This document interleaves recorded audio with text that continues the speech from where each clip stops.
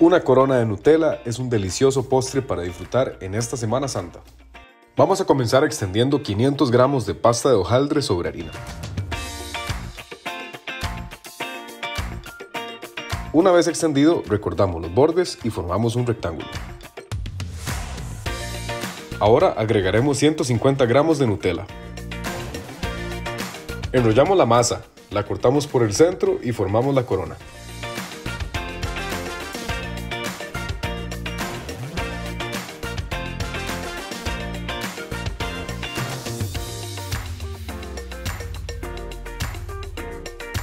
Vamos a barnizar con huevo batido y agregamos un poco de azúcar con caramelo y llevamos a hornear a 165 grados por 15 o 20 minutos.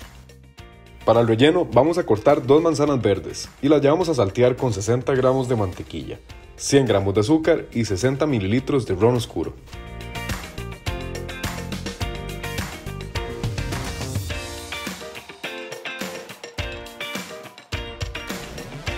Retiramos las manzanas y agregamos fresas picadas. Una vez que retiremos la corona del horno, decoraremos con frutas, almendras fileteadas y unas hojitas de hierbabuena.